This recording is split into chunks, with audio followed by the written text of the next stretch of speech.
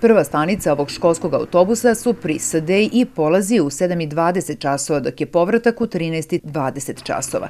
10 minuta kasnije sa Prisada polazi autobus za učenike koji su u drugoj smeni, a povratak je u 17.40. Nisu ni išli sami.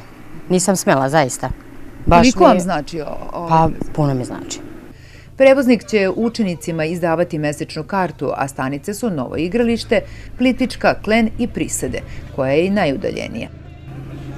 Je li tebi lakše ovako? Jes. A brat ide sa tobom?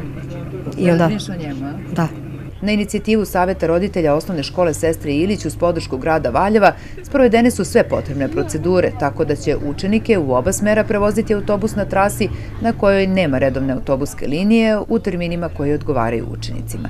Najviše zbog ove male dece smo se organizovali i onda smo uputili e, apel gradu i školi da nam oni pomagnu da nađemo rešenje. Na ovoj relaciji je postojala gradska linija koja je ukinuta pre 15 godina. U ovom delu grada nema, nema zapravo trotoara, tako da su učenici na putu od kuće do škole nebezbedni, onda roditelji moraju da ih dovode i da ih vraćaju u školu, naročito učenike koji su mlađi školski uzrast od prvog do četvrtog razreda. Mi smo podržali inicijativu Saveta roditelja, a grad je zapravo podržao sve nas zajedno, tako da od ovog 1. septembra i učenici iz ovog dela grada će imati prevoz.